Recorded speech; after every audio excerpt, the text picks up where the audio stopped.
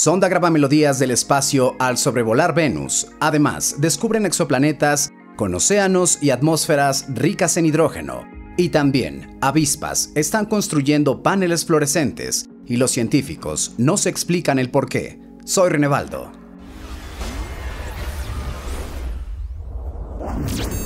Bienvenidos sean a un nuevo video. Iniciamos con estos sonidos que le están dando la vuelta al mundo y que fueron enviados desde el espacio por dos sondas de la Agencia Espacial Europea que sobrevolaban Venus y que a esto lo han denominado como melodías del espacio.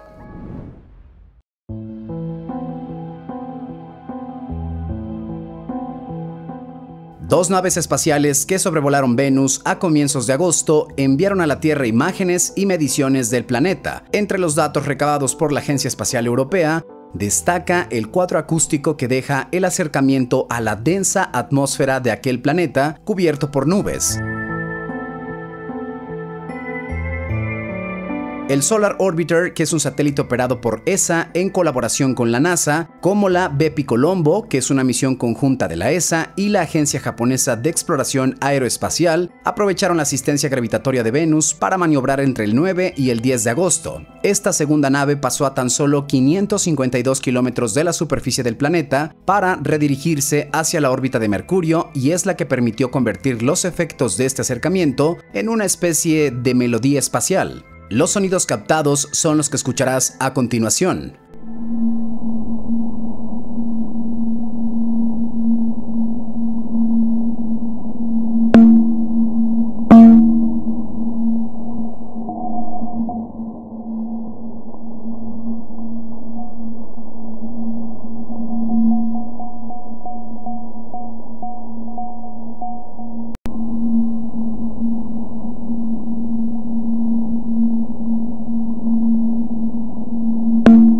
Esto se deben al trabajo del acelerómetro de resorte italiano, que es un componente del Mercury Planetary Orbiter que se separa en cierto momento del Bepi Colombo para orbitar el planeta más cercano al Sol. Los operadores europeos redujeron la grabación de este acelerómetro a las frecuencias perceptibles para el oído humano. En esta grabación se reflejan las variaciones en la aceleración de la propia nave espacial que se deben a la gravedad de Venus, la cual ejerce influencia sobre la estructura de la nave y también a los efectos de los cambios rápidos de la temperatura y en los movimientos de la rueda de reacción, el dispositivo que compensa los efectos gravitatorios.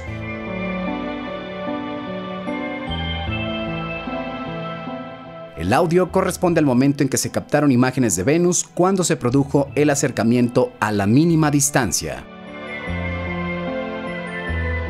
pero también tienen otra grabación, la cual representa el impacto del viento solar de intensidad muy variable sobre el campo magnético de Venus. Esto lo midió el magnetómetro del Mercury Planetary Orbiter en un lapso que incluye la máxima aproximación al planeta a las 13,51 minutos del 10 de agosto.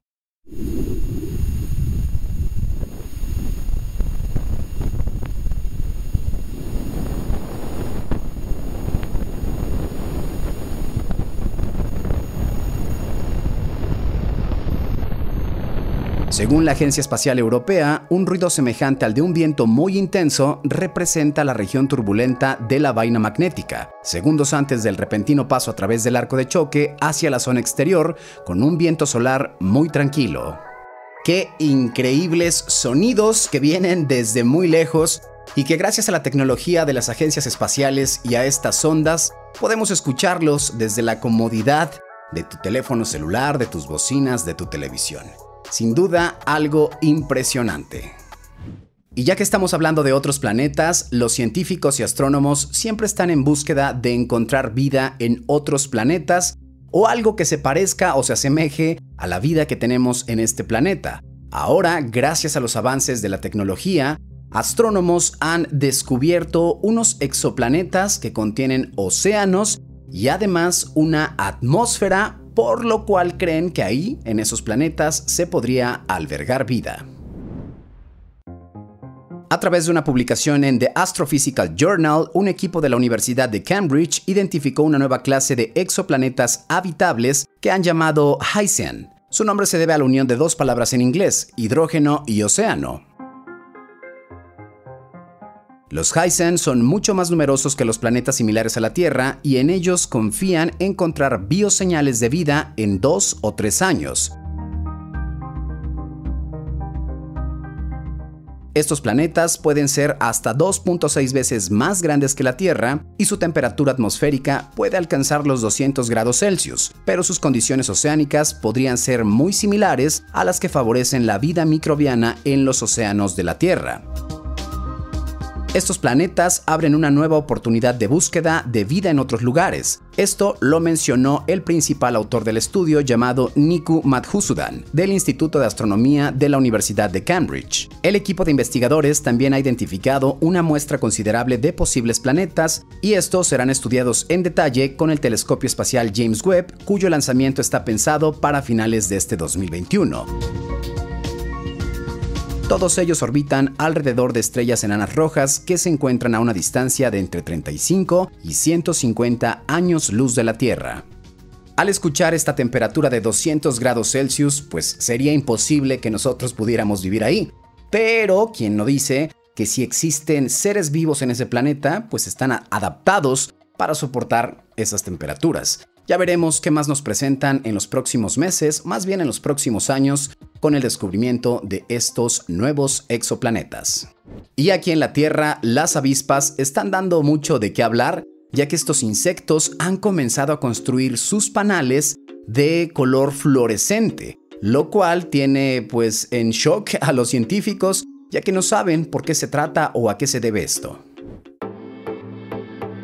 un equipo de científicos se han encontrado con el primer caso conocido de animales que construyen casas fluorescentes. En un nuevo estudio detallan el hallazgo de nidos construidos por ciertas especies de avispas que brillan en color verde fluorescente bajo la exposición a la luz ultravioleta. Las avispas de la misma familia en otras partes del mundo también parece ser que son capaces de construir estructuras de igual manera.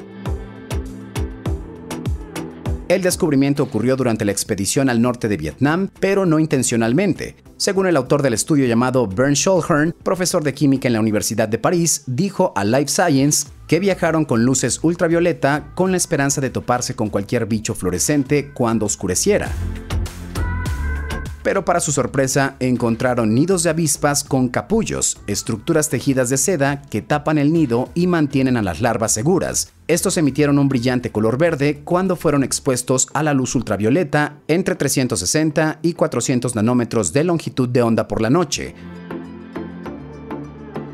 los investigadores llevaron muestras al laboratorio para estudiarlas a fondo y comentaron lo siguiente. Nos sorprendió mucho encontrar una biometría fuertemente fluorescente. Hasta donde sabemos, este fenómeno no ha sido observado en el pasado ni por investigadores científicos ni por fotógrafos. Hasta el momento solo publicaron esto, pero me imagino que con el paso del tiempo darán la información de qué descubrieron o el por qué de que construyan sus nidos fluorescentes. Yo quiero pensar que es para que las mismas avispas puedan encontrarlo tal vez por las noches, aunque no tengo la menor idea, así que mejor esperemos a que los expertos eh, descubran el porqué de este misterioso, bueno, no, es un fenómeno, más bien de este misterioso descubrimiento. Muy bien, de esta manera llegamos al final de un video más, pero no sin antes su gustada sección René Salúdame, René Dame un Corazón.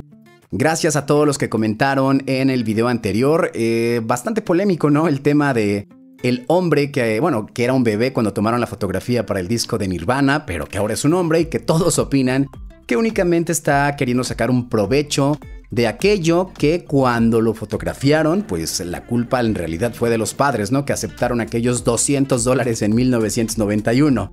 Pero bueno, saludos para Salvador Recendis, también para Eric Castro, saludos para Katia Vizcaíno, muchas gracias por tu comentario. También para Maggie JH, Maggie Jackson, que siempre está al pendiente de los videos. Saludos también para Carlos Torres, para Sergio Beltrán, gracias por comentar. Saludos también para Israel DS, para Galo Armas, eh, también saludos para Azuka Lang GL, que dice gracias por el saludo, pues nuevamente te envío otro.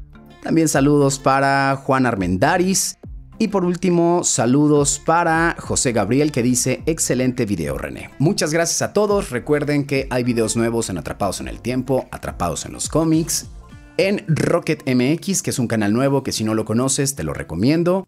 Y por supuesto aquí en mi canal personal que lleva mi nombre, Renevaldo. Sin más me despido, que tengan un excelente día, soy Renevaldo y nos vemos en la próxima. Bye bye.